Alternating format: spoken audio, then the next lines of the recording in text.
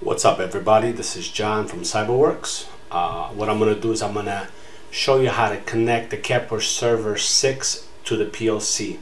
Now I know there's a lot of videos out there that kind of have a lot of lessons but nothing really quick, simple and easy just to pull the tags. Alright, so let's get started. The first thing I'm going to do is I'm going to go ahead and reinitialize my Kepware server right here. So I reinitialize because I only have a demo. So this is a two hour demo. You can reinitialize every two hours. So once we reinitialize this, we're going to go ahead and go to Kepware server itself.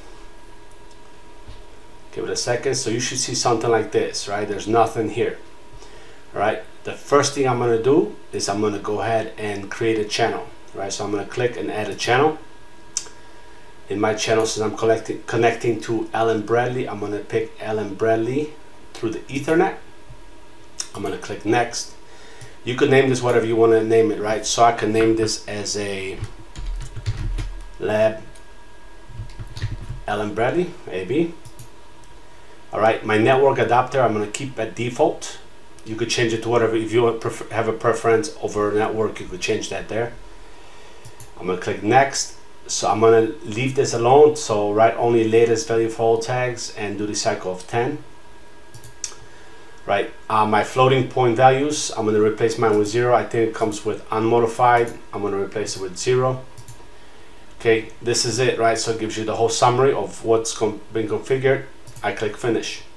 All right so now you notice that right here I have a lab AB but now we still have to add a device to this. So I'm to click to add a device I'm gonna name mine a 5370 that's my CompactLogix. I'm gonna click next. I'm gonna select the CompactLogix. I'm gonna click next. Okay right here this this gets confusing right? So the first portion I'm gonna go ahead and put the IP address.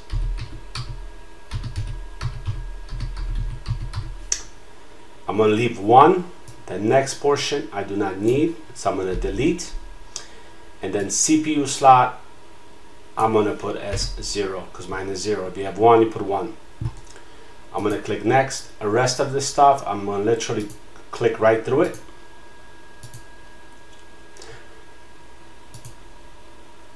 Issue your port is 44818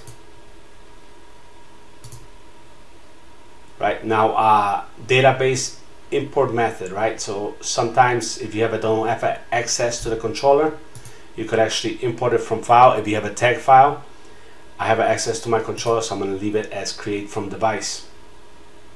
I'm gonna click next, next, next, whole lot of next, click finish. All right, so now we have our PLC. All right, now to accessing the tags dynamically, right? So you don't have to write every single tag. If I right click on this and I go to properties and I go to tag generation, you're going to see create tags. Okay. If you do not see this, go into your runtime and connect to your runtime. Mine is already connected, but let me show you what it looks like with it being disconnected. So I'm to go ahead and disconnect. So right now my runtime is disconnected. If I go here, back to my properties, and tag generation, you notice that this generate tags thing is not here. Okay, so we're going to go ahead and re reconnect. Yes. No, I don't want to save changes right now. All right, so we got this. Back to properties. Back to check generation. I'm going to click it once. And I'm going to click OK. Give it a second. Boom, it pops up, right? So it gives me my program tags right? All my stuff in my small little program, right? But now here, if you click on this, you don't get much, right? So you have this, it will tell you basic, basic stuff, right? No matter what I click, counters, I know I have counters running, same thing, nothing.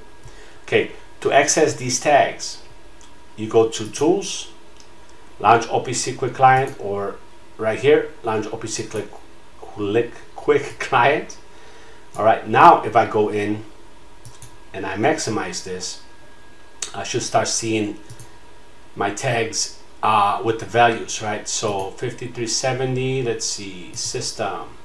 All right, we got some stuff on the system. All right, uh, not yet. Global, there we go. Okay, so in global, right, you're gonna notice I have changes starting to happen. I should have some counters here in a second. Okay, so we got timers. I got a couple timers there that are moving. They're dynamic. Where's my counter? So there's my counters.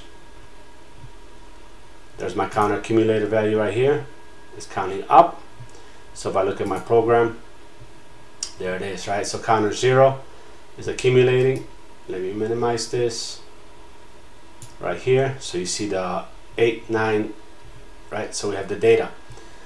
Now we can control these tags as well, right? So on my main, I have a, a um, on my main, I have a start program, right? So I'm gonna go minimize this, and if I go into my start program,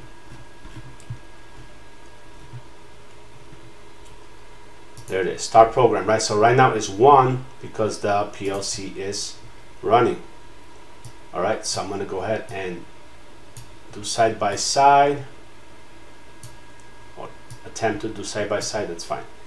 If I right click this tag and I go synchronize right, and I write value of zero, I hit apply, the program stops, right? So you, we could literally modify these values directly in Kepware.